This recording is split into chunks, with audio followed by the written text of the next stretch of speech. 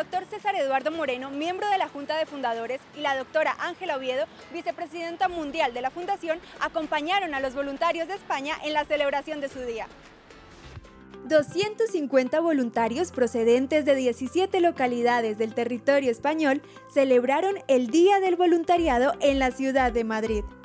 Los coordinadores y voluntarios pudieron disfrutar de la compañía de la Junta Directiva de la Fundación quienes compartieron muchas experiencias y enseñanzas acerca de la labor de la Fundación en el mundo. Estuvimos compartiendo con todos los voluntarios de España, que hace rato yo quería estar con ellos, compartir con ellos.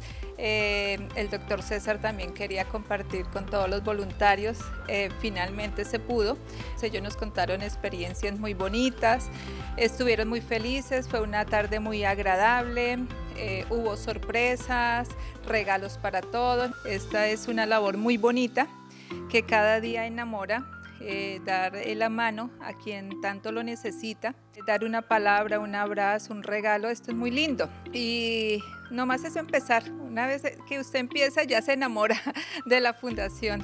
Eh, yo estoy enamorada, cada día me enamoro más de ver sonrisas, de ver personas felices, niños felices. Esto enamora. Estoy feliz y estoy segura que todos ustedes también se van a enamorar de la fundación. Decirles que los quiero mucho, a todos los voluntarios los quiero mucho, los que no pude ver. Eh, un saludo muy especial para todos.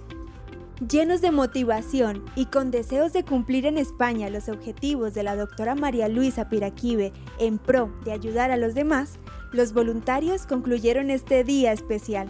Ha sido una jornada magnífica y maravillosa, llena de, regalos, de sorpresas y de aprendizaje sobre todo. Los actores españoles Lucía Padilla e Iván Gallego también compartieron sus impresiones sobre este día de celebración.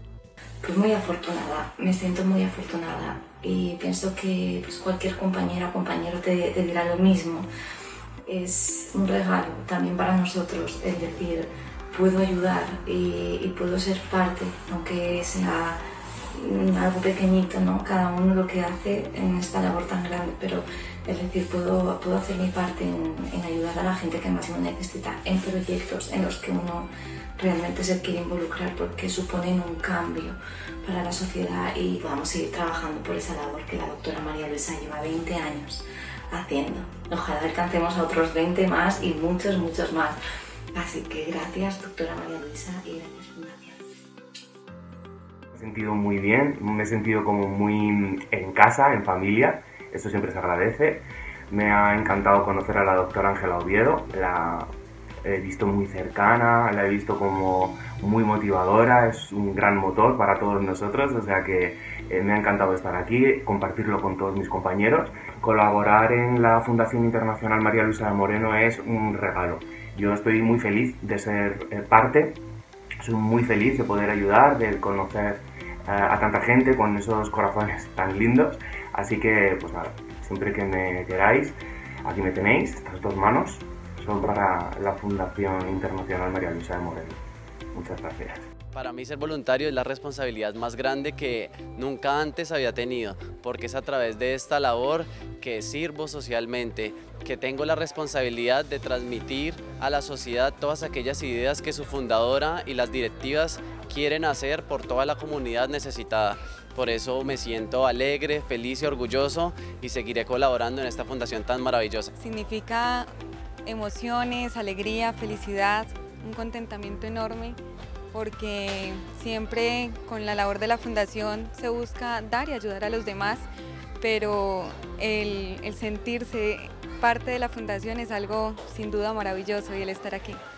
Esta celebración del Día del Voluntariado terminó con muchas enseñanzas, anécdotas y regalos por parte de la Junta Directiva. Para Fundación TV informó Alejandro Espina.